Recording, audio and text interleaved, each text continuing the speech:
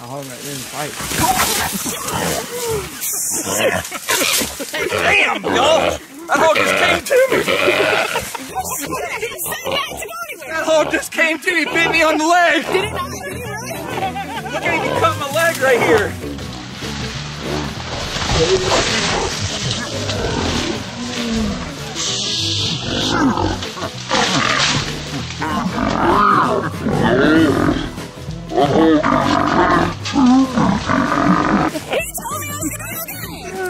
That's it! I have officially been cut by a boar hog. Look at him cut me in the leg. I can't. You talk out like a wine gasser, honey. You, you got to do what you got to do.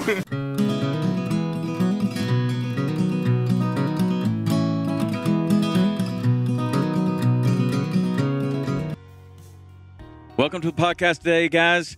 By popular request, I have caught up to an exceptional man that is known far and wide on YouTube by the handle Deer Meat for Dinner. Yes, sir. As they all say, dear me. that's that's what they call you, Oh, Deer yeah, man. I'll be out on the river or driving down the truck, honk honk, dear me. All Everyone- right, man. Yeah, vegans yelling, dear me. You know, Do you have any trouble with the vegans online? None. Sometimes they, uh, sometimes the vegans can be a little bit uh, aggressive. yeah, no, I have, I have one video. It was actually the fifth video I ever made, skinning a gator, and uh, it gets a little bit of hate, but the hate goes away. It doesn't. It doesn't percolate. It just someone will blow up and get all angry, and then it just goes away because we have a real culture Yeah. of respect on my channel. I was going to say that, man. You've got an army. You've got 844,000 subscribers. And these guys, girls, people are uh, are big fans. I mean, you have you have created uh, an army of of supporters. Yeah, and a- lot, you know, I have a lot of friends that YouTube and are in this industry. Um, I call it an industry. It's a life for me, but it is an industry because we make a living at it. Right. But um, everyone's always worried about getting more views and getting more subscribers. If if you ever watch my videos, I never really tell people, "Hey, subscribe." I do thank them for sharing my my videos and whatnot. I thank them for the support and the encouragement that they give us. But I'm happy for everyone that I have now. I'm really like if I just stopped, if I stopped gaining subscribers and just kept what I have right now, I'd be very blessed and very happy. So I try to be very content with what I have. And when I'm, you know, when you're content with something, it's very good to you. It feels good to you. You know, if you're not content with it and you're always tr- wanting more, wanting more, wanting more, then it's never, it really is never fulfilling. So I tell everyone, hey, they're like, you're almost to a million. I'm like, yeah, but look, I just passed 800,000. I'm so happy just to be here. Right. And I, I'm always thinking, Well, that's you know, what am I going to do? What's my next video? Like right now, only thing I'm worried about is hanging out and talking with you. I've I've watched your stuff for a long time. Uh, thank you so much for your your kind words towards me. But well, that's I- very nice. I've watched you guys. I think your your format with saltwater experience and and into the blue and those those shows really intimate, very very very well produced, which uh, not all outdoor shows are. no, You are No. amongst Well, the very best. That's also very kind of you to say. Um, one of the things that I have, uh, when when we got such an overwhelming response, I asked everybody who they'd want to see me interview, and uh, got a whole slew of list of names. And I have been keeping a list of names ever since I th- started doing this project of people that I admire, people that I respect, people that I think are cool, people that I don't know, people that I think I could learn something from, and that's really what this is all about. I like to learn. I've got what I call a white belt mentality. I feel like no matter how long I've been doing this, I feel like I could learn from somebody that just got started yesterday. I feel like there's always something to learn. And so when I start looking at your stuff, one of the things that resonated with me right away, two things actually. One, family. Two is that you uh, you carry yourself with gratitude. Like you you you say that a lot. Man, feel great to be out here. I'm I'm so thankful for this. I'm so thankful for that. How does that happen for you? Do, is that a conscious thing that you have gratitude for where you are? Um, I, it, I believe it has a lot to do with how you're brought up and what you're brought up doing. And we were brought up with manners. Yes, sir. No, sir. Yes, ma'am. And uh, as a kid, heck, I'd have been perfectly content with a bucket of dead shrimp and a cane pole on that dock. yeah. I'd figure out how many sheep's head were around each pole and how many mangrove snappers were there. And if they weren't biting, I'd catch a hardhead catfish. It didn't matter. To, and I say this on my channel all the time. It's about getting the bite. So I love blue marlin fishing and daytime sword fishing and tarpon fishing. But it doesn't matter if I'm catching a, a cichlid on a beetle spin or a blue marlin in Costa Rica. It, you've got to figure out how to get the bite, you know, and how do you get that bite? That that to me is awesome. And so no matter where I am or what I'm doing, I'm really excited to be there. There's millions and billions of people all over the earth that never get to spend a day doing what I do. I know the vast majority of my subscribers unfortunately won't get to do the things that I do. And I I'm getting to make a living doing it. So you know what? Every single day I wake up in the morning, I say my prayers, I say, Lord, thank you for today. And thank you for the opportunities that you give me. And I'm going to make the best of it today. I never worry about tomorrow. I only worry about what I'm doing today. hmm And um, wh- when you live like that, and when you when you when you are thankful for what you have, you appreciate what you have, and it all means more. And it all, you know, you're able just to appreciate it. And and I appreciate you saying that. But that is, to me, that's so big. It's just to appreciate what you have and be thankful for what you have. Well, that was a. I, I consider it to be a big shift in my life when I came across that um, that concept of purposefully living with gratitude, being thankful for every breath you're taking, being thankful for every step you're taking. And this one um, guy told me this this little thing that he does every morning, and I started I started bringing it into my life, and it is you step out of bed, the first foot hits the ground, you say thank. Second foot hits the ground, you say you. Thank you. Thank you. Thank you. All the way to the bathroom to brush your teeth or whatever you're doing. And man, I started that a long time ago. And it ha- what it does is it sets you at, at a place for the day that you are grateful for you're grateful for that step you're grateful for just waking up and I don't know it has been profound in my life and i love to see it with others that that just they're not taking anything for for granted and and often people that live lives like you do or like i do you get a lot of opportunities to go outside. You may you know they say uh, familiarity breeds contempt. You know if if it's too familiar nah, i don't want to do that anymore. If if if the fish is too plentiful i don't like that fish anymore you know? So the, to stay grateful and thankful for every opportunity i think is is is really good and i think it's a huge great message that you're putting out to uh, to your audience well, I appreciate it. So- So Bonita, bonitas do breed contempt in me, though.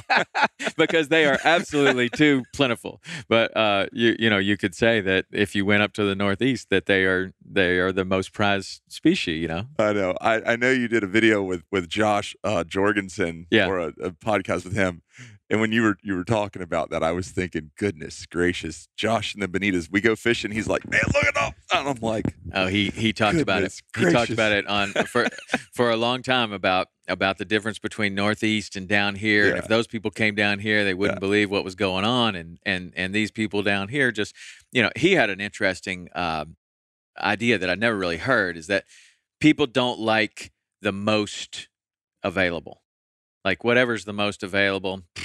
You know, whether that's Jack Crevalle's, Bonitas, Barracudas, whatever but that's an interesting thing that happens. But I think if you're living living with gratitude, um, you can you can have one slip of a bonita. Nah, don't like those. You, you- you're you're allowed you're allowed one one fish that you don't like. right. Well, let's talk about the way that you grew up because you're saying you grew up with manners. You grew up you're you're you're a self-proclaimed Florida cracker, right? Hundred percent cracker to the bone. So tell me what a cracker is, and All right. from a from a cracker, what is because because a lot of people that live outside of Florida have another idea what a cracker is. Tell me what what a f- true Florida cracker considers a, a cracker. Okay, true Florida crackers just in a. Well, we'll back up, and I'll, and I'll tell this really quick because we don't have four hours to do this. back up to uh, Ponce de Leon when he came to Florida looking for, or came to the Americas looking for the Fountain of Youth. He brought a couple ships, 500 cows, 500 horses, They were Andalusian cattle and uh, small, really tough, could deal with anything. They offloaded over in Port Charlotte. Uh, as they offloaded, were getting set up. They got ambushed by Indians, uh, Native Americans. He was actually shot in the calf by an arrow, by a poison arrow. They left the cattle, left the horses, jumped back on the ships, and headed to Cuba. That's where uh, Ponce de Leon died. Was in Cuba. So all his cracker, all his Andalusian cattle, Andalusian Andalusian horses went wild. And I mean, th- think about what Florida looked like Yeah. before anyone was here. You Looked know, like other your than the- ranch, basically, right? yeah, it looked like my ranch with mosquitoes the size of ospreys.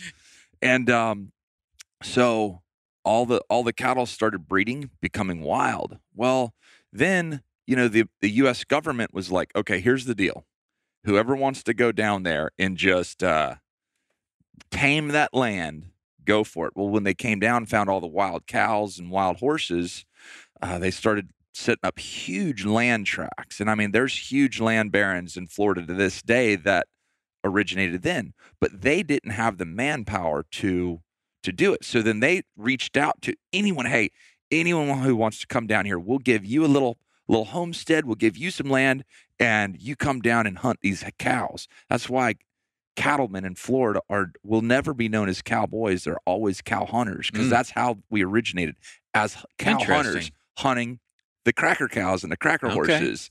So they came down and were just tough, tough men, and we really utilized a cow whip. Most places they call it a bull whip. In Florida, it's a cow whip used by a cow hunter. And if you imagine working cows, it's going to be brutally hot, mosquitoes, just really tough, and it's so thick. So if I'm pushing my cattle here, if I'm working around this cypress head here, and three of my buddies or two of my buddies are over there, I don't, I can't, I don't have a cell phone, so I can't text them. Right.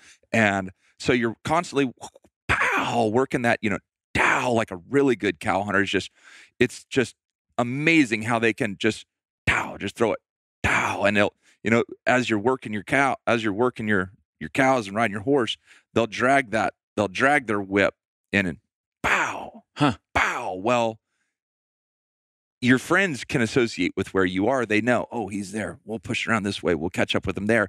I believe a lot of it had to do with mosquitoes also. you know what I mean? Pow! and um, but then as you're bringing the cattle in, you'd hear the you'd hear the moos of the cows, but all the women you could hear that cracking sound for miles away coming, and they would know here come the crackers Hmm. because they were known by the sound of the cracking of their whip. Well, then they'd start gathering up some cornbread or whatever meat was available, maybe stewing some some swamp cabbage, making sure that was good and hot, have meals ready because guys would get in, they want to get some food, back on the you know back on the trail working. There wasn't a lot of time to lollygag, and so that's where cracker came from, and that was that was hard hard work, and it was Oh. very respected work, and so to to be the son of a cracker or the grandson of a true cracker. My my grandpa, all he did was cut lighter knot fence posts for a nickel apiece and and cow hunt. That's what he did. That's what my mom grew up grew up doing, trapping otters and coons and possums and gators and whatnot. You know, Yeah. and so to to have that heritage and have that lineage is it's a badge of honor to me. So, how much time did you get to spend with your grandfather? That had- tons, tons, Really? tons, tons. Yeah, I um, he passed away. Uh, he passed away about five years ago, and I from as soon as- wow. So, wait a minute. Five years ago, was when was he March born? eleventh, nineteen twenty one. So, in 1921, mm-hmm. that well, it would be later, I guess, when when he's actually working and doing all of that. But so by the he's time- probably 25 years old doing Oh that, right? no, Tw- 11, 12, 13 Oh. years old. Yeah, he had, had no education. You once you're old enough to ride a horse, crack a whip. Yeah, that's what you That's it. he had no education whatsoever. His education was far beyond books Yeah, yeah. and and writing. Well, the natural world. And then he, you spend time with him, and he shows you Oh, how to work the land. He shows you how to do the things that you're doing on your videos because I'm looking at these videos. And man, you're cutting off hog balls, and you're, and you're making swamp cabbage, and you're trapping stuff, and you're you're you're you're taking everything, and you're you're creating a meal out of it, and you're living off the land as uh, as other people did with with the with the comforts of a stove and and Mhm. stewed tomatoes and all of Mhm. that stuff. But you're doing this in a way that you're cooking everything from toadfish and and uh, and and and puffers to you know hogs and deer and and I mean I hadn't seen you eat a possum, but you trap them. Mhm. Um, so that's all knowledge that comes from your grandfather. Because when I'm watching this, I'm like, how old can this guy possibly be? I mean, how old are you? I'm 41. So 41. I'm a little ahead of you, but and and I have gathered some skills in my time, but I'm I'm quite impressed with with the the breadth of environmental knowledge that you have and how you're skinning a gator one day, you're you're you're caping a hog the next day, you're spearfishing the next day, you're doing all of these things and I'm thinking, how has this guy developed these skills in 41 years? And that all what you're saying now is that all came from your grandfather, is that right? No, sir. Oh. Uh, what came from my grandpa is And there's more. Yeah, well, no, what came from my grandpa is the ability to do your best today. He didn't. Only thing in the world he knew was the Bible and the back of a horse. And treat your family like they're everything. Treat your friends with respect and to do your best today. And so, you know, he showed me some things like we skinned uh skinned some soft shell turtles together and and cut some swamp cabbage and whatnot. But I really learned how to cut swamp cabbage from my good friend Cliff Berg, uh, who another old cracker. um, but I I tried to learn something every day, and you alluded to it earlier about. I, we've been doing, you know, you and I, we've been hunting and or hunting. I know I've been hunting and fishing my whole life, but it doesn't matter if someone's only been doing it for a little while they may see things from a different perspective and actually have a new take on it and you're like that's really cool right there you know because we we look through our glasses that we've been seeing the world in our way but every day i'm dealing with someone talking with someone having a conversation with somebody I, I try to learn something every every day and you know my mom says boy you got a mind like a steel trap you know I'd remember things and I, you know, it's applied knowledge. If I do this here, then all of a sudden you'll be doing something over here and you're like, oh, that'll work right there. and and and those could be i mean i don't know if you do this in your in your thing but i'll read business books that help me with fishing i will read some other kind of book that helps me with something else because you're taking these concepts and you're like huh that's interesting how how he thinks about that and what if i did that over here? Would that work? Sometimes it doesn't. Sometimes it's a massive failure. But it's worth a try you know? And uh, do you do you try to apply those different things? Like the things that you're learning on the land. Do you try to apply those to parenting? Do you try to apply those to business? Do you try to apply those in different places? Because the natural world is a great teacher i think. 100%. so I can tell you this I don't read any book. Like, I don't read any books. I, I, I read about a chapter out of my Bible every day. That's just what I've been doing my whole life. Um, but I learn a lot in the wild. So I'll tell you this, and, and I try to apply this all the time. So we have 3,000 acres just to the north here. That's our ranch. And if you have a crackhead doe, she will raise a crackhead fawn. and what I mean by that, we call crackheads does that just are panic stricken, paranoid, blow at everything, stomp at everything, run around, just they stress out everything else on the land. And their fawns will grow up exactly like them. mm-hmm. But then you have a good old doe that is just a, a awesome doe. And she's smart. She's smart as a tack, you know, and she, she's calm, and she's smart, and she just takes her time. She will raise a fawn the exact same way. And so with my children, you know, you're a dad, aren't you? Yeah. oh Yeah, yeah i've got yeah. three kids Yeah. So 20 year old an 18 year old and a 14 year old girl dude, what stress can a, a child I mean, I mean, it can be terrifying and stressful and but you know, I always think about them old does that are always calm and collected and smart, watching what's going on. They raise their children the same way. And so I you know, I I think the most important job in the world that I have, or any parent has, is raising your children and taking care of your family. And uh, so I always try to remember the old doe that's calm, collected, keeps everything under control. Because that's the way I want my kids to grow up. and you see that the that the one that stomps and and blows and stuff like that either gets taken down or makes Gets a shot a mistake. lot. They gets shot, gets coyoted, Yeah. gets something right. I mean, Yeah. and that's that's the that's the lesson. But there's so many lessons from from from nature that I'm sure that you're you're bringing into your Mhm. to your your family. So tell me about your family. How many kids do you have? I've got two children. Uh, I've got Aria is my two year old daughter, and Emma is uh, almost nine months old, and my wife is Sarah.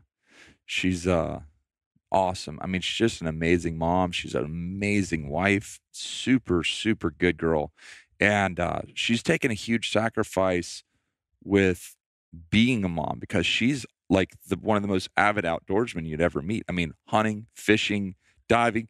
First day I ever took her snorkeling, she jumped in the water like she'd been doing her whole life. She can like legitly go free dive 30, 40 feet, like like no problem. And she grew up in Wisconsin. Um, but she is so dedicated and passionate about being a mom. And to me, that's that's the most beautiful thing ever. And you know, as the girls are almost big enough where where we can do bigger and better things Yeah. or Yeah. ask my mom or her mom like hey you think you want good for a little bit we're going to slip off and do this you know Mm-hmm. but but she's really been she's been an amazing it's it's amazing uh, to watch her How does a guy like you find time to get out of the woods or the water long enough to meet a girl like that?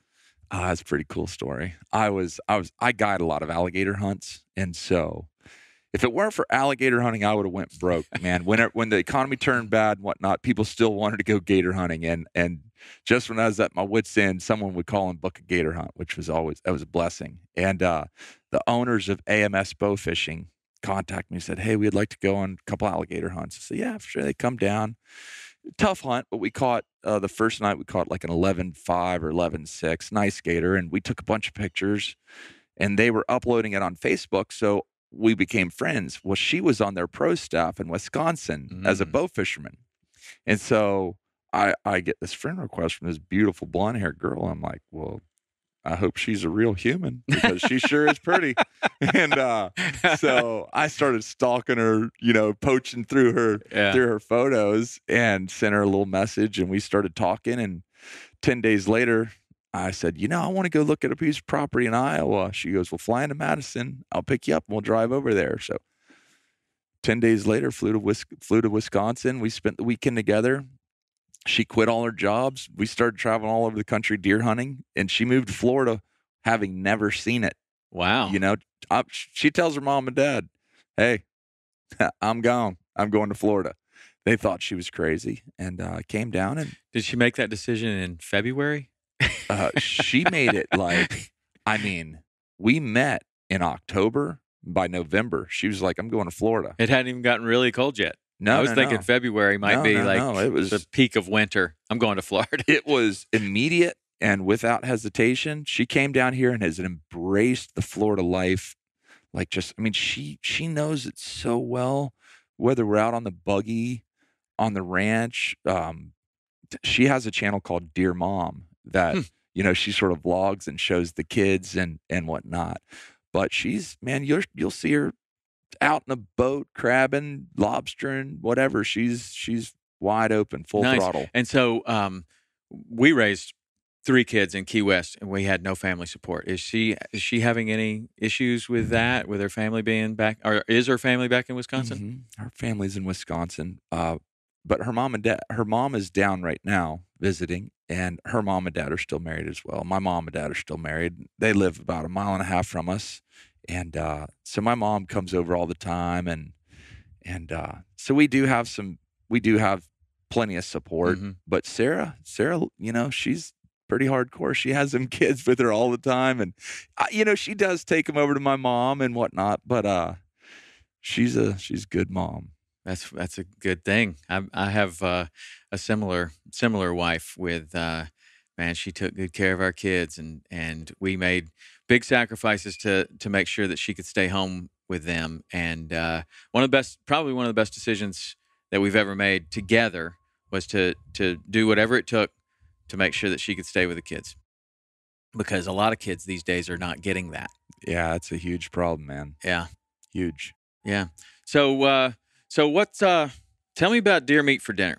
Uh, because I know that when I first met you, you may not remember this, but a long time ago, we met at ICAST, and you had something going called Respect Outdoors, Mhm. and I remember that.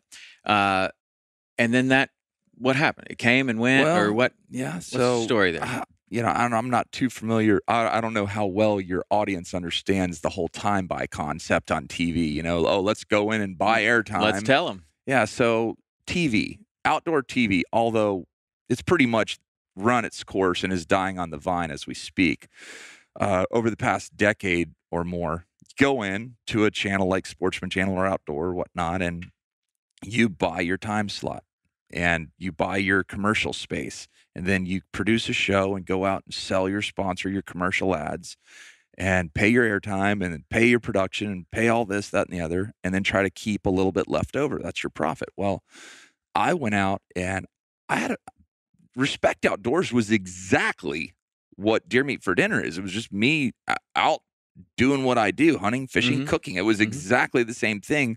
Although YouTube has brought out a lot more just spontaneous realness because I can do so many more of them. I'm not doing 13 or 26 Yeah. episodes. I, I do two or three or four a week. And um, it, it's just much more natural. But the concept was the same with Respect Outdoors. And all of a sudden, me and Sarah get together and uh, I'm talking with the networks about what my contract's going to, how much I was going to owe them for airtime. I'm thinking, man, every time I get a new sponsor, it seems like my airtime goes up equivalent. Uh, I'm, Yeah. I'm like, I'm making no money. I'm working around the clock and I'm broke is the 10 commandments. And so I was, I was sitting in my kitchen cooking deer meat at cast iron skillet with a couple back straps sliced up. And, and I was th- thinking, okay, I- can't do this. What am I going to do? And a good friend of mine, Greg Mutsinides, Greg, if you hear this podcast, I love you, brother. You mean the world to me. um, he's like, man, you need to do YouTube. That's where it's all going. You got to do YouTube. And I thought he was crazy, but I started looking at it and I said, all right, I'm going to start a YouTube channel. I said, what am I, what am I going to call this thing? I said, what do I really love in this world? As I'm cooking a cast iron skillet full of deer meat, I'm like, well, heck, I like deer meat. That's for sure. And I said, tell you the truth. And I'm talking out loud to myself. I said, tell you the truth. I, I really like deer meat for dinner. And I'm, I'm just totally joking with myself. And I, I look on my phone, deermeatfordinner.com, and it's available. I'm like, oh man. I'm like, hey honey, you got a, you got any space on your credit card? She goes, a little bit. I said, well, I need to use it. I'm gonna buy a I'm gonna buy a, a domain name. And she's like, you got to be kidding me. I'm like, no, no, I think this will be cool. Deermeatfordinner.com. That sounds awesome, huh? And so we just started going, started going, started going and making videos. And it took a couple years. Now I was doing other things, guiding gator hunts. Then I got into being a captain again, running a big sport fishing boat, and but started moving things along, and it started to grow and grow and grow. And once we started picking up steam, I remember laying there in bed talking with Sarah, going, "Honey, we this ain't a joke. We have a this is bigger than TV ever was. This is what TV what I, this is what I dreamed TV would be." Yeah. And so now we've embraced it. And over the past year, we've gone full time into YouTube and it's just exploded in in opportunity. And um, but again, I try to live for today. You know, I'm only worried. Ask me what I'm going to do the rest of the day. I have no idea. I have no idea what I'm going to do. All I know is I'm going to do this with you today. Once I get done with that, then I'll say, all right, now what's next? But I'm only I'm very focused on one thing at one time, and and um and that's how deer meat for dinner is. I'll look around at the weather.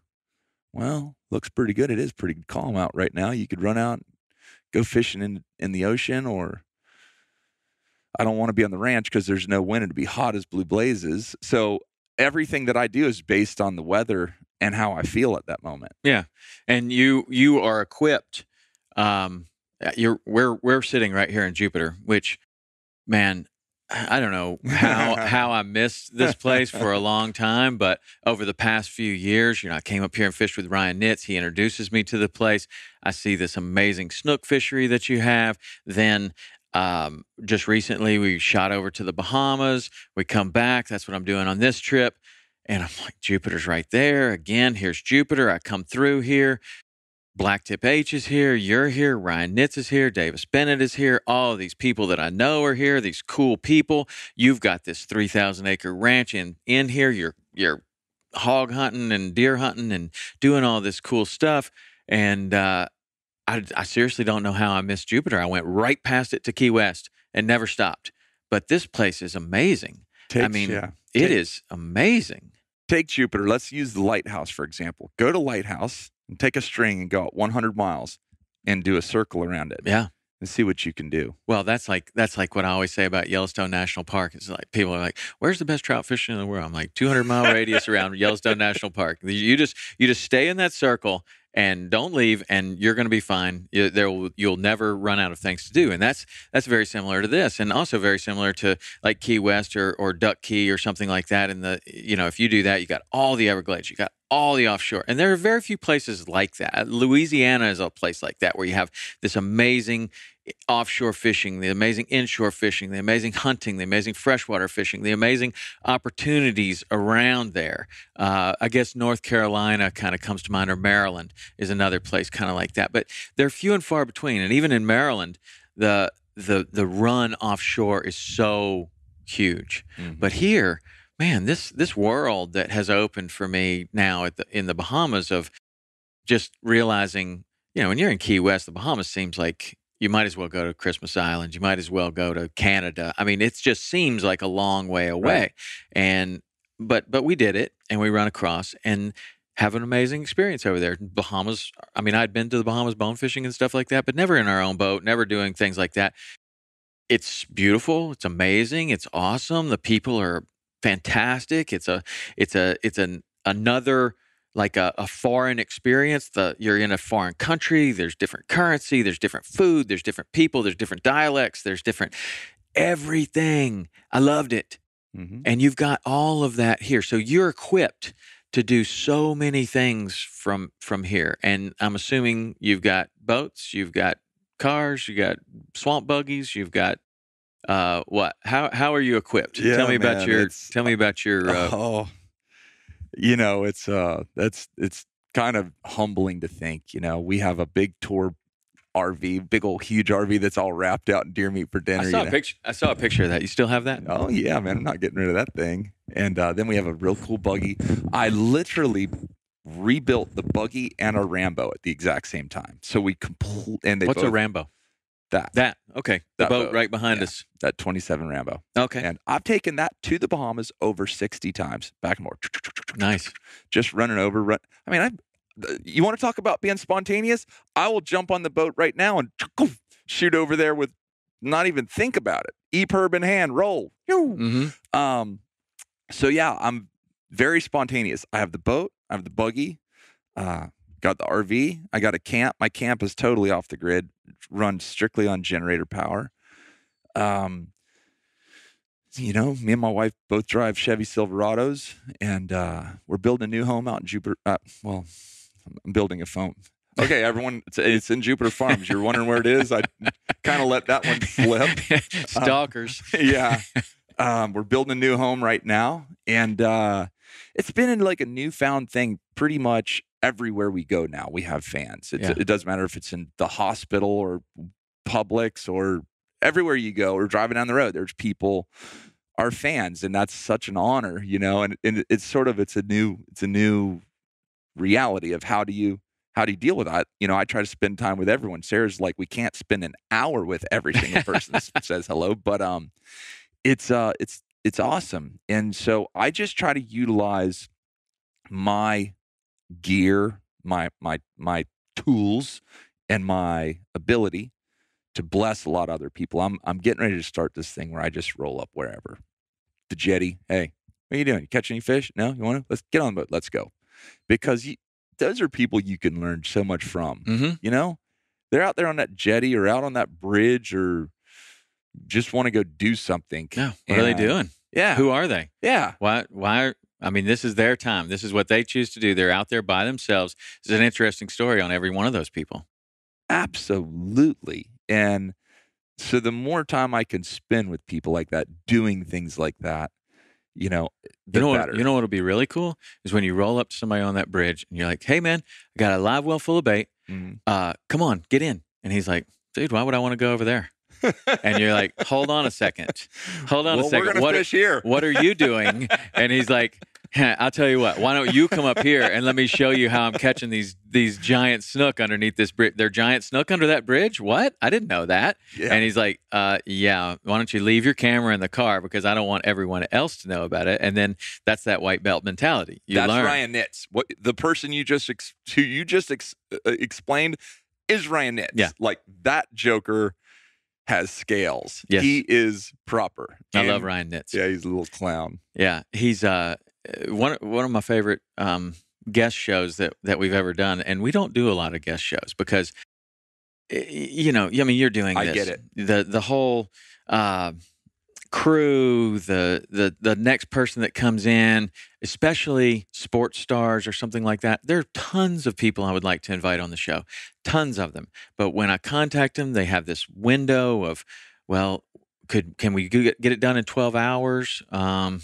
maybe you know but then we end up with a half finished show and it's no good it never sees the light of day so honestly we've stayed away from guests but ryan you know this world of instagram and i've talked about this a bunch of times and it's how how i found you how i found ryan how i found davis bennett BlacktipH uh, my friend Graham Taylor, uh, my friend uh, Melton Hill Bill, all of these people that have turned into fishing and hunting buddies.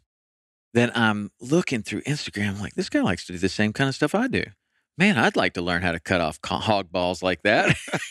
Well, we'll go cut one then. I'm all about it. I, I want to talk about that because I was I was watching that. And I, I got to tell you, I've never cut hog balls off, but so I want to I want to know about that because we don't have like I spent a lot of time in Tennessee, and the hogs haven't made it up there, so I don't have experience with hogs. I didn't grow up with hogs. I don't know anything about it. A little further south, those guys have a lot of experience with hogs, but I don't. So one of the videos that I like of yours is making a boar a bar. Mm-hmm. So explain that to me. Like what what happens there? A wild pig has balls. They're a they're a boar. hmm that's right. Why do you want to make them a bar? Well, so take our ranch for example. We have to manage the hog population, and I don't want to just randomly go out and kill a hundred boar hogs and throw them away because they stink terribly. Okay, so that's that's where the that's where the confusion with me lies. The the wild boar is so lean. It's just very. It like, imagine what you smell like if you were fired up like beyond life and hadn't worn deodorant a day in your That's life. right after workout. Yeah, but you've never worn deodorant a day in your Right. life, and it's and you don't take showers Mhm. ever, hmm And you're They- rolling mud and and you yeah, and your Shit. whole life is about beating up other boar hogs and breeding as many sow hogs as you possibly can. That's a boar hog, and they are vile. I mean, they'll stink up your whole house. mhm. Now you can kill a small boar is the meat good though? If you were to if you were to go through the process of cleaning it, is it edible?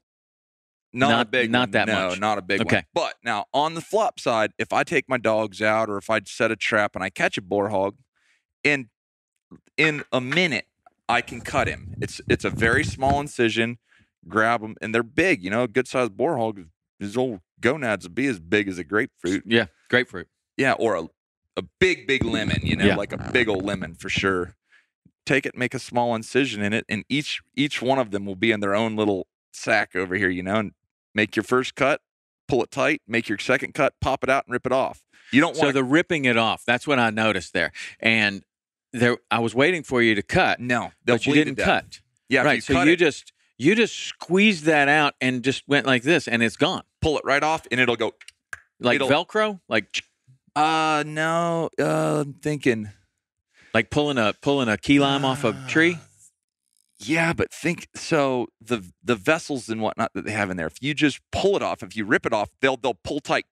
And literally, when they pull and they get tight and they don't bleed, like literally when you cut Yeah, him you right, showed that on your on your video. It was cool. there's no blood anywhere. And they within all the time I catch the same boar. So I catch him in the trap, cut him, let him go, and I'll catch that joker again. I've caught one five times. Every time I set the trap, I catch the same bar that I've already cut out of that trap. So now once he's cut, immediately has n- they immediately stop looking for sow hogs. Um, I don't know if I can say it, but I always You can say, say anything. I say they stop chasing ass and start eating grass. and um, but uh, you know, uh, a boar hog will have a big shield. It's Uh-huh. it's called a dermal layer. It's actually bone growing into their skin, and it's it's a shield. It's crazy. Um, they'll lose that once they have once they lose that the the hormone. They'll lose their shield. Really? They'll put on a layer of fat, and they go from being the worst eating wild game in the world to the best eating wild game in the wo- in Really? the world. Take a 200 pound bar that's got an inch of fat on him. The meat is better than any store bought pork you'll ever, ever see. Well, I can believe that. I'm not a big fan of store bought pork. I just, I mean, bacon. Who doesn't like bacon? Yeah. But communist. communist. That's exactly right. Bacon is the candy of meats. That is uh, that's awesome. And you can buy store bought. You can buy you this whatever. Ba- all bacon is good. Right. Uh, we agree there Right. perfectly.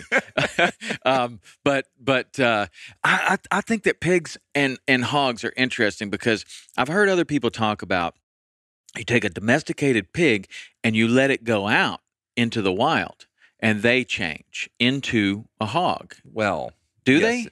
What's your experience with that?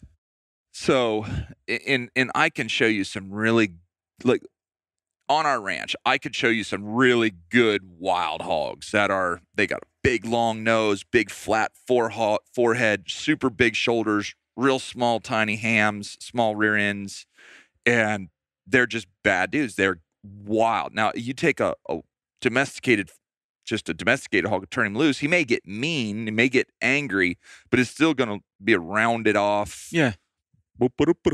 I mean, it's like the guy that hadn't worked out until he's 60 and and eh, he might get there. you know, You're doing with a bud. lot You're of hard good. work. but, you know, he's still going to be kind of rounded off. right But but but the the thing that I was hearing about is that they go from being this this pink almost hairless deal to going out they they start growing different hair they start you No, don't see that? That's not true. That's not true. No that that hog's going to have that hair however that's that's how he is. His personality might change in a while but he's not going to change. His his characteristics aren't going to Mm-hmm. change. That's that's a fact. But but a pig doesn't go to a hog. I mean a domesticated pig that gets loose isn't going to turn into some turn into- semblance of that. No. Okay. No are Uh, the other are those wild hogs going to just beat the crap out of him when he gets out there Mm, yeah, but me and my little brother Gabe, I have one it's one story about this. Out in when we 15 years ago, me and my brothers, we hog hunted all the time with our dogs. Gabe had a dog named Red Rock. I had Spot, two proper dogs, um, good sight hunting dogs. There's the hog, turn him loose, pow, catch him. guy calls us from like a development out here and Loxahatchee. He goes, Yeah, we got a hog out here messing with our horses and whatnot. And so he gives us the address. We drive out there. I'm like, dude, you're you're like in the middle of a development. He goes, yeah, the hog. There's a there's a lot down there. Hog walks down this road, goes into our horse pasture there, and fights with our horses and eats all the horse. I'm like, dude, there ain't no way. He goes, yeah, he'll be here at five o'clock today. I said, I said, I'm gonna bring my little brother. We're gonna check this out. So we got five o'clock. Here comes this big old white boar hog walking down the road. Boom, boom, boom. I'm like, you want to see how we fix him? Gabe's holding Red Rock. I'm holding Spot. Giddy boy. That that hog beat the beat the brakes off both our dogs and ran right back into them woods where he came from. We went and got other dogs. We never found that hog again. Never. And wow me and my brother, we've caught thousands of hogs. Me and Gabe still talk about that hog to this day. Like that's your white whale baddest b- catch dogs you've ever seen got their eyes beat shut by this hog, and he walked off. Like, don't mess with me, guys. And so, but he looked like a domesticated hog that went wild. Yeah. So, I'm not saying it's impossible. It's just not likely that you turn an old domesticated hog loose and he becomes a serious wild hog. Yeah. Um, but if you take a, a domesticated sow and she's gonna get bred by a wild boar hog, then her her piglets will look more and more wild, Mm. and then those piglets will get bred with wild, and it'll be more and more wild. Yeah. you know. So Now, what if you took a, what if you took a, a bar, and you put him in a pen, and you feed him what the other hogs do? Is he going to become more and more domesticated? That while he's alive, not his offspring, but that particular hog, You get him out of the woods. You get him out of eating the wild stuff. You put him on the the standard feed or whatever you're feeding the the pigs. Is he going to undergo a change? This is what this is what change he would undergo. He would probably settle down a little bit because he's a bar. He's going to settle down. He would definitely put on a lot of weight, but he would probably lull you to sleep. All of a sudden, one day you'd say, "Oh man, old pork chop, you're doing so good." you jump in there to give him to pet him on the head, and he'd cut your leg wide open and throw you out of the pen. That's just never never leaves. That that instinct never leaves. They ain't leaving. Not happening. It's Now not. I caught I caught a little boar hog in my trap, you know, two three months ago. I caught him. He was so small. His his gonads weren't as big as a big pea. You know, cut him out. I've caught him several times since, and every time I catch him in the trap, he's like, "How's it going? Corn It's just got me. any more? Yeah, we're good." Just me. He doesn't even squeal or nothing. I grab him, set him out of the trap. I'm like, "Dad, gummit!" So I'm gonna put a tag in his ear so no one kills him. Yeah. Yeah, he's a cool little hog. That's cool. Let's talk about gator hunting, man, because uh, you extre- you have a, a, an amazing amount of gator experience, right? Yes, sir. And how do you are- how do you how do you become a gator guide?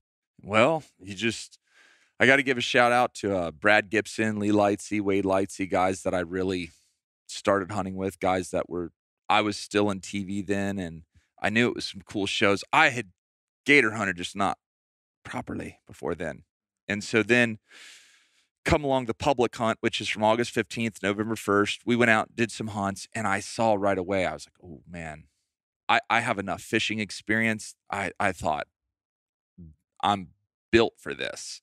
And so I started getting my own tags and started hunting a lot. And then I had people all over that would see my pictures and say, Hey, we want to go. And I say, Well, let's book a trip. And so as all, everything with TV completely died and then the economy dropped out, I had no money. Then I was, I had enough experience and enough clients that I could sell 30, 40, 50 hunts. And, um, And where do you do these? anywhere. So in Florida, they have a lottery system, and there's uh, there's probably a thousand different zones. Um, pretty much every body of water will have tags allocated for it, and uh, you go through the lottery process. Whatever you get awarded are your tags. Now it's also I do some things here. So, like let's say I sell 50 hunts, but I only have my two tags. Then I'll go out and find other people who have tags in that area and I'll pay them for their time and pay them for their tags. They have to go with you. They have to ride Uh-huh. along Yep. with me and my clients get what's called an alligator trapping agent license. Totally legal, 100% by the books. And we'll go out, catch the gators, kill the gators, tag the gators. And once they're tagged, they're my client's gator. So it's uh it works real well. There's a variety of different ways. Uh, sometimes we'll hunt them with a crossbow with a with a line attached to it and a float. Sometimes we'll use bow and arrows. Sometimes we'll throw a snatch hook. Uh, sometimes we'll drop a bait, although the bait cannot have a hook in it. And uh, there's just so they'll just hold on to the bait like a blue crab, and you just bring them up and then shoot them. no. Uh, they'll swallow the bait, and then a lot of times a big gator's going to go into deep water. A small gator's going to bury up in the willows and whatnot, and uh, you'll sort of get around to him, figure out if he's, you know, the gator you want, and uh, if he's a big gator, ease him up. I'll put a hook into him or a harpoon dart into him and uh, kill the gator. Which I made it sound very simple. There's a lot of, of Sure. work that goes into that, but uh, Sarah and I, we've done it f- piles and piles of times. Every hunt is different. Every night is different, and um, it is. I've taken a lot of, you know, it's not a cheap hunt. It's a pretty expensive hunt, and I've taken people that have hunted all over Africa and all over Southeast Asia, and they're like, "This was the craziest thing I've ever done in my life." So you're just going out in like a John boat. no, or no, we have a 24 foot skiff that's Okay. custom made. It's built specifically for it because lights. yeah, well, I'll I'm very into complete darkness with a very very dim light. I'm all about very dim. So on every body of water that you'll ever see, somewhere from that body of water you'll see a street light or if it's super dark you'll see a star. I want my light to be so dim that it appears to be a street light Yeah. or a light in the distance It makes a lot of sense. although it's actually me being very close to them. Um, and I mean, I could we could talk for two days about gator hunting, but it Well, I don't know anything about it. I want to do it. And what made me want to do it the most is watching you skin the gator and using every piece of meat and seeing the carcass when it's done and the ribs. Like that's what really I was like, man, I want to do that. Well, you're not gonna have to wait long. We'll, we'll apply for tags and we'll hunt this year. Let's do it uh, because I got two boys that crazy Yeah, about hunting, but Easy. um, I want to do that because I love eating stuff. Like Mm. there's certain things I love duck hunting. I mean, I love duck hunting. It is really fun. You don't like. I don't like to eat them. Yeah. And so it kind of, you know, I'll choke them down, you know, but oh, I love eating. I love hunting something that is really good to eat. I love fishing for something that is really good to fish for. And that's the thing with fishing is, eh, if you don't want to eat it, you just throw it back, right? And it swims off, and everybody's good for the. But but in the hunting, there's there's this finality, and then it's like if I'm not going to eat it, then it just took something out of out of this whole thing for me. Um, and it's you know I'll have a party and everybody can come over and we'll have the the the bacon wrapped duck and and you know you're an awesome cook and I want to talk about your cooking, but um, maybe you can tell me how to cook a duck to where it tastes better. But duck and geese both, I have just I mean I've tried a lot of different recipes. Pretty much tastes like bacon with something in the middle that you don't really want to eat. I'd just rather eat the bacon. Yeah. Uh, keys to keys to cooking duck are a clean. A lot of people will let the you know duck's insulated, so he's got a lot of heat wrapped up inside yeah. his body. So they'll let him sit on the front of their boat until two in the afternoon. So they're, they're you've already heard him that way. Even if it's cold, because like where we're hunting, it's very cold. Like Okay, so you're Ice. in Arkansas Yeah. or something. Okay. Even still, you'd be amazed how warm they are in the inside. Mhm. We hunt here in Florida, so it'd be 85 degrees on a good morning. Uh, not quite that warm, but you know what I'm saying. Uh, clean your ducks as soon as you can. Put them in a good saltwater ice bath. The the saltwater ice bath will cool them down real nice. That that the salt will start to extract some of the blood out of them. But the key is to make a really good brine. Your brine. So you can take fresh herbs, honey, cinnamon sticks, salt, black pepper, uh, boil that down, uh, a lot of brown sugar. You're going to make this beautiful brine, and then get the brine out. Let them let the brine cool down. Throw them, throw all your like in Arkansas, wherever you are. Take all your duck breasts, man. Make you a big, huge brine, and as you're killing all your ducks, just keep throwing them mhm. them breasts in Mhm. your brine and just let them sit in there for a day, two, three days, and they'll start taking on the flavors of the brine. Hmm. And so instead of it having that liver type Yeah, yeah. flavor and that Right. chalk, it'll start having a much more eloquent and Hmm. robust flavor. Couple days in that brine. Yeah. Now somebody told me a recipe about duck, and it was similar that you marinate them in kerosene and then you flambe them. yeah, yeah, yeah. There you go. Yeah. um, so you're how did you become the cook, the chef that you are? Is this out of necessity? Is this trained? Is this what is this? Necessity is the mother of all invention. That's right. I, I, I, I reverse engineer everything. I'll see something or I'll get an idea and then I figure out how to make the idea. I'll see some, I'll see a picture something, or if I'm in a restaurant and I taste something, I'm like, crap. Now I got to figure out how did they get that? Hmm. Someone made it. right. Someone made that. Yeah. So I got to figure out now how I can make that. And I used a lot of Everglades seasoning. That that's pretty made. That'll help anyone be a better chef or cook. Um, and it, goes back whenever I the first mate job I ever had. I was working for a captain named Captain Rusty Nixdorf on the Speed Merchant, and we are going over to the Bahamas blue marlin fishing, and he says, "Go over to Grand Slam, pick up a case of mullet, and this, that, and the other, split tail mullets." I show up to Grand Slam. You know, I'm a young kid, and uh, How old? uh, 20. And before then, I was, you know, I, I that was my first real sport. I had been on some other little sport fishing. That was my first sport fishing job. And Rusty was a serious captain that would not take any lip at all. He'd hit you with a gaff upside the head. And uh, so he tells me to go down and pick up a case of, of split tail mullets, mackerels, this, that, and the other. And they they were like, yeah, it's I don't even remember how much. Let's say it was 500 bucks for that case of mullet. I'm like, no, dude, I don't want anything rigged. I just want mullet.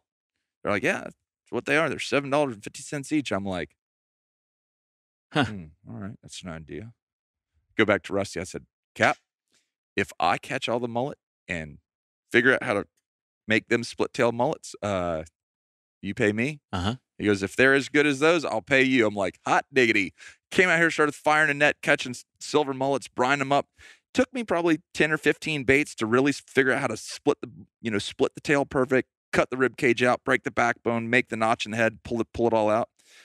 Once I got them flat, heck, man, then on I was the one catching all the mullet. Right. And um, It's a lot of money for a 20 year old. yeah, you know, you make an extra two, three, four hundred bucks here and there. You know, that's awesome. Yeah. And so that's like how my life has been. How do you figure out, oh, well, if I can do that, make a little bit of extra money, or if I want to go on this trip, or if I want to go do all this, my job now pays my bills and pays this, that, and the other. But if I want something extra, I got to do side jobs. And I got that from my dad. Like my dad is a, a subcontractor. He owns a big Bobcat business, and um, he and my brother have it together. And I always, dad was always about his side jobs. Side jobs paid for all our vacations and paid for all of our extra stuff. And side job was extra work that you did to make extra money to do extra things. And so now uh, it's um oh, we're building a new home. That means I've got to start adding in extra videos. I got to do extra work to pay for extra things. And people that that feel entitled to everything like, "Oh, I should just have this." I don't relate with them at all because we aren't entitled to much in this world other than the opportunity to breathe and work and get out there and earn it. And so and I tried to show that on my channel. I'm I don't want anything for free. I want to earn what I've got and you know, Yeah. That's a great attitude and one that's one that's rare in this in this world. Um, well, it's not rare in this world. It's rare today with some people. yes sir. But the uh, the hard work and dedication, I, I, I like I like that story because with those side jobs and with the mullet comes the understanding of where those mullet live. Comes the understanding of then if they're mullet, there's probably snook, maybe tarpon. That's then you are you are while you're doing the offshore fishing, you're learning the inshore fishing because if you know the bait, you know the fish.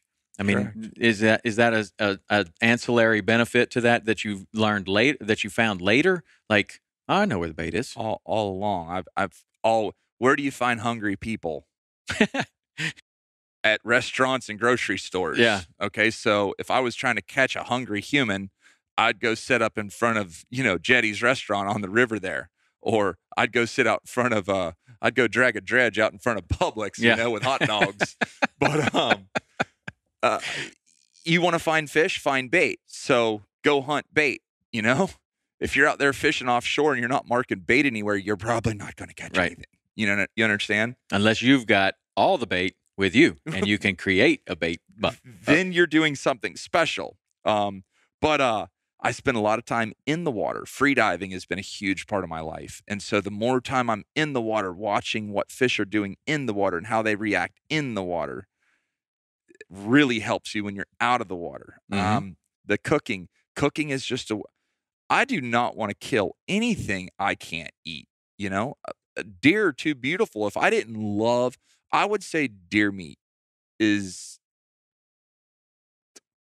like I don't know my favorite food in the world. I just love deer meat. Like I just am addicted to it. I more so than I mean, you have some elk experience, right? I've yeah, I've killed elk. I do like elk.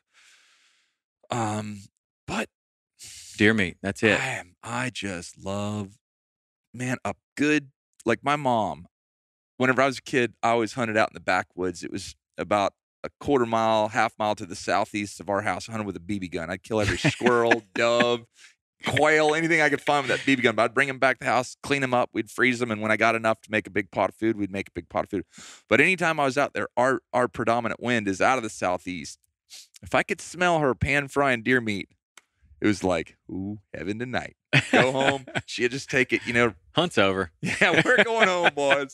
She'd salt and pepper it, roll it in flour, and uh, pan fry it in a little either bacon grease or oil or whatnot. And it just tasted different when she did it. And to this day, if I go over and she's cooking dinner and just, I, I'm like, there's just nothing in the world that tastes better to me than mama's pan fried deer meat hmm you know and uh so i love I think it's a lot about respect to the animal. When I catch a fish, a lot of people, uh, especially that don't know any better, you know, they catch a fish. There's a cooler full of ice there. They just throw the fish in on the ice. He's flopping around on a bunch of ice cubes, and it really doesn't do much. You know, make a nice ice brine, throw the fish in on the ice brine, locks them up really quick, c- cools them to the core. Come home, take a really good sharp fillet knife, make perfect cuts, and now you have fish that was caught, well taken care of, cleaned perfectly, and now I have now I have a canvas. Okay, so now I take the canvas back to the kitchen and make some kind of artistic painting, Mhm. and and it's just it's about full circle. Well, let me ask you that. Is that because when you're talking about this, there's this passion of the whole process. Is there one part of that process that you are enjoying more than the other? No, sir. That's what I thought. No, sir. That's what I thought, and that's what comes through in your video. And I don't know if you mean for it to, or or but but the way that you're talking about that is about the whole process. It's about catching the bait. It's about and and catching the bait is just as much fun as now you're moving out to wherever you're going to fish, and now you found the fish, and that's exciting. And now you you bait the bait, you throw it out there, you catch the fish. That's exciting.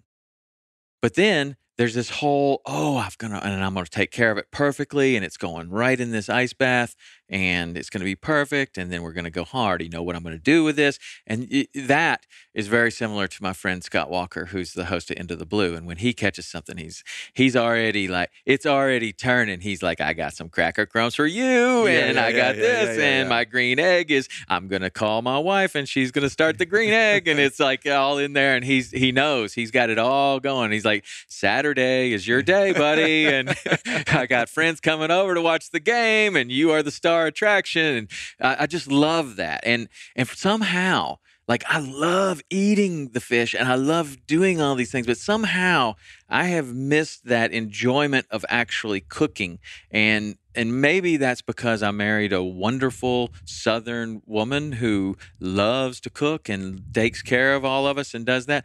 But that's that's what I think really comes through in your videos. Is this is this you call it you you enti- you title your videos uh, uh, "Catch, Clean, Cook," and I think that's one of the reasons. I mean, do you think that that's one of the reasons why you're having such success with this channel? Because if it was just catch, eh, maybe there's Right. lots of catch. Right. And there's There's yeah. lots of catching. Maybe there's some cleaning. Maybe there's some cooking. But the way that you're doing this, of this, of this, and I and I really think that's the secret to your your success on this is that is that you enjoy and respect and appreciate the entire process from maybe you don't like washing the dishes, but and maybe you don't like scrubbing the boat, but from from here to there. Have people been telling you about me? No, Okay, well you nailed it on the head. No, No, I, you know, and and this is this is one of my favorite podcasts yet because I don't really know a lot about you, but it's almost like when I met Graham Taylor and started spending time with him. And if you don't know Graham Taylor, we could be triplets. Like, I mean, it's I met him and I'm like, dang, dude, like, I think we're brothers from from somehow like i love you man and and so graham and i go fishing and we go turkey hunting and and he's just got this unbelievable passion and and it's like man i don't hang out with a lot of people that got that same same passion that same deal but but that's one of the things that i like about this conversation is that i really don't know that much about you but it's what you see is what you get and you can't you can't fake passion. You can't fake interest. You can't fake enthusiasm. You can't fake knowledge. I mean you can't like i'm watching you and i'm waiting when i'm watching these videos i'm waiting for you to man, just not do it right but you're cleaning a gator with the skill of someone who has cleaned thousands of gators you're doing all of these things that's what i was impressed with i'm like this guy's a real deal like yeah, I don't know anything about you, but just from the just from the videos and talking about you, I mean, you you seem like the real deal. Well, I appreciate it. There's uh, so a lot a lot of y'all that are listening to the podcast and that watch the videos, there are things I, I am like a very unorganized human. I have to make I have to go to great lengths to make things easy to keep organized and to keep clean. My wife is amazing. She cleans my office for me. she'll clean out my truck for me. She does. I I mean, I'm like I'm like the boat going down the river. I leave a wake of disastrous mess behind me, and I know some other people like that too. yeah, so I leave this crazy. I and I have this thing. I leave stuff in my cooler all the time and forget about it. And she's like, "Honey," I'm like, "Oh God, what did I do? I know I did something." Yeah. It- well, this will this is a this this will sum up my friend Graham Taylor in one story. he goes and he has taught these fish how to eat this bait and they're going to be there and he has created this fishery out of a fishery that didn't exist before and he does it by catching shad taking them transporting them it's a massive project. He's covered in the first time i ever meet him he is covered in scales, like the tin man. He looks like the tin man and i'm like wow i already like this guy. He's totally covered in scale. Hey man how's it going? I've been up since two. Uh, we're all set. Let's go. I'm like Perfect. this is and there's just this reeking of you might as well have left the bait in the cooler overnight and opened the lid right? And so graham goes home to his wife and she's like graham get in here. And uh, he's like what honey? What what is going on? And she says i can take a lot of things but i can't take this. And she pulls his blue jeans up and she goes these went through the washing machine Oh and there's like a pocket full of shad.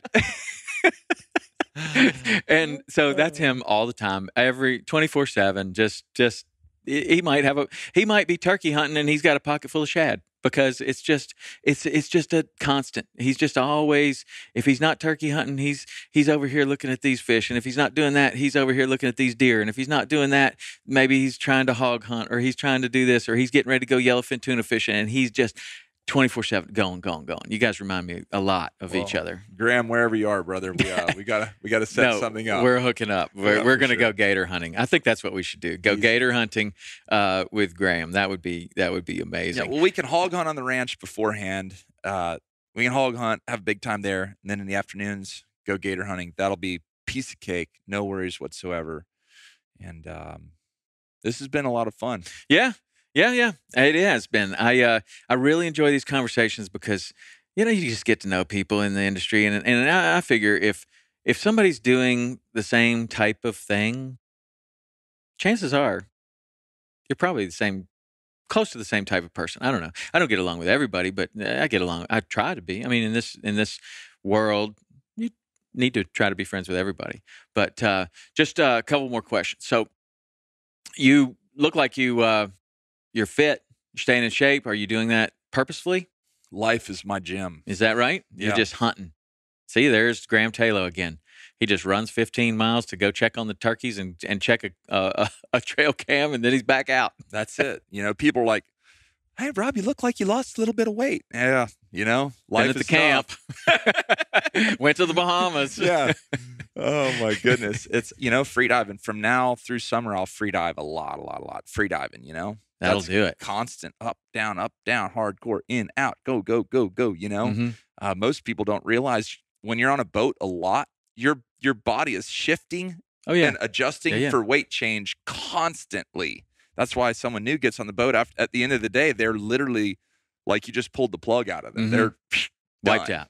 wiped out. Wiped out. And so I try to stay fit uh, mentally, physically. Um, I try very hard to separate. So YouTube is our full time job. It's a full time lifestyle, making videos, doing what we do.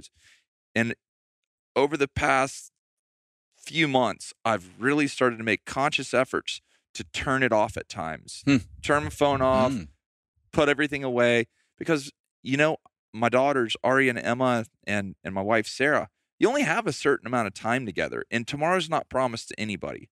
So I try to turn it off and just look at them and appreciate them for that day like Emma's 8 mo- or 9 months now. She she's never going to be 9 months again. I got to enjoy these days with her you know if I'm holding mm-hmm. her and she's looking at me and she's got these two little cute teeth you know? I let her bite on my fingers and tickle her and you know with with aria i always tell her the doctor has to look for the tickle bugs you know and i try to i actually try to really consciously look and like absorb those memories because they're fleeting and they're not going to last forever. And I don't want to get 10 years down the road go, man, I wish I would have done more of that, you know? And, and Sarah, she's such an encouragement to, hey, honey, let's do this or let's do that. Or, you know, look at Aria looking at you. And, and so I try very hard to do my best with YouTube. But at the same time, my biggest mission in life is to be a father and a husband, you know? And so how to turn one off and to really focus on being the other. Yeah. Well, there's no better there's no better mission in life than than that. That's in my opinion, that's your duty as a man that has a family is to take care of that family and do the very best you can for the family. And there's a fine line and a balance between doing you know what you need to do to take care of your family financially Right. but also to take care of your family emotionally and to be there for the support and to be there for always. And and that's the real balance. And it's like you start putting too much over here and this suffers. You start putting too much over here and this suffers. And it's it takes a special person and and it takes a special uh time management i think. And what it tur- turns out to me is like you when we set this up you were like you a morning guy i'm like if he only knew like that's that's where the hours come Right. like you're not getting more hours later in the night maybe maybe when your kids are, are your age but when they and and let me tell you something man I got three kids. I'm a little bit ahead of you in age and and in and in kids. But my son's going to turn 21. Wow. My other son's going to turn eight. He just turned 18. He's getting ready to go to college, and all of a sudden, two, both are going to be gone. Um, and my daughter's 14, and I can remember you're talking about those two teeth and and and the whole deal. And and I just when you said that, I had these flashes of every one of my kids with that same little deal. And then my oldest son, he he lost his two teeth really early and actually that something happened they had to pull his front two teeth and he didn't have two teeth for years like he just had this this smile like you know That's all I awesome. want for christmas is my two front teeth. Well Right. that happened for about five christmases. So he had that but i just had that flash of of all of that like wow. And man i'm telling you you you are dead on that it is fleeting. And i mean people ask me all the time like how's your kid? I'm like uh 20 i mean did i just say he's 20 Right. because man it seems like just exactly yesterday that, that i was doing that but but maintain that man and stay on it and i was going to ask you that how you how you are managing that but one thing is that you you seem to be comfortable bringing your family into the YouTube and then that allows you to design your life to where you can be doing all of these things. So making videos doesn't necessarily mean no family time. May, you know making 3 videos a week instead of 2 videos a week doesn't necessarily mean that that you're away from the family. But have you are are you eh, is that a conscious deci- decision between you and your wife that that this your family is going to be part of this whole perso- online persona yeah, whenever we started Deer Meat, when when it all started, it was about Sarah and I's life. And as Ari and Emma have come along, it's become about their life and it's about our family. And that's what I think one of the biggest problems in this world right now is the the lack of family structure, the lack of solid parenting, being there, the support. And I know what it's meant to me. And so I I'll do everything in my power to have a, a solid family structure in my home where we sit down and say the blessing and eat as a family and do things as a family. Uh, that's that's number one. And um, and then we have support. You know, I have my cameraman John McRoberts is a great guy. Uh, he's a huge part of our family and does what we do and is fits in seamlessly. Uh, and he takes a, a huge burden off of me. Um, sometimes he buries me in footage, and I tell him we don't need five hours of footage. You know, we need an hour of good footage. yeah He's like, well, I might miss something. I'm like, well, don't miss anything. Just shoot what you got to shoot. And um, we uh, we have a, a very brotherly type relationship, banging on one another. Um, but it all, everything goes and comes. My favorite saying with Sarah is, "The ocean's not always calm. Ocean's not always Mm. rough." Okay, when the ocean is rough, we look forward to the ocean being calm. When the ocean is calm, we're going to enjoy it and realize that it ain't going to be calm forever. So you're going to have ups and downs. If it weren't for the valleys, all the mountains would just be flat. So when you're in the valley, you can look up and you can appreciate the beauty of the mountaintop. When you're on the mountaintop, you can look down and you can see the valley and realize how far you've come and then try to be humble and appreciative of where you are and, and how you can see. You can also see where you've come and how how many other, other people might be in valleys. And it I'm a very emotional emotional guy. And so I bear the burden of, of my friends and subs. You know, you hear these heart wrenching stories, you're like, man, that gum, you know? It's tough, you know. So I try my best to do my best and and to appreciate where I am, what I have. Man, awesome, dude. I don't know if we could ever end a podcast better than that. Uh, you are, you know, uh, I love it when this happens because I have I have an idea of what I'm going to encounter if I see see somebody. But one of the things that I like so much about this podcast is when are you and I ever going to have a chance to sit down for an hour and 15 minutes, one on one, no phones, no interruptions, whatever, to really connect? And this is how people used to connect. And this is how you connect in the deer blind. This is how you connect in the in the duck blind. Like you're sitting there talking, nothing else is going on. And that's really missing. But honestly, man, you uh, you're a beast. I love it. I love your attitude. I love what you've created. I wish you all the best in it. If I can help you in any way possible, there for you and uh, I'm going to take you up on the gator hunt. I'm bringing Graham Taylor. That's big. Bring them boys too. I will, buddy. Thank nice you. Thank you, you so much for doing this, man. It was really, really great. I know that uh, my audience is going to love it. I hope you push it out to your audience. They're going to see a different side of you, a couple stories they've never heard before. Yeah, awesome. You're the best. Thanks, guys. Thank you. Wow. Robert Arrington. Man, that dude knows a lot of stuff. And he's very enthusiastic and grateful and thankful and that was a great interview, great podcast. Hope you enjoyed it. If you did, let me know. Podcast at saltwaterexperience.com. If you got other guests that you think would be as good or better than Robert Arrington as a as a podcast guest, let me know that too. I'd love to hear if you have some suggestions like that. Robert Arrington was a suggestion from our audience. It worked out beautifully. He was an awesome guest, and I look forward to doing that alligator hunt with him bring my friend Graham Taylor down because, man, those guys are like brothers. Anyway, we've got other great guests coming up Ryan Nitz, Davis Bennett, and way, way more. So stay tuned for that. Hit subscribe, send me an email, and I'll see you on the next one.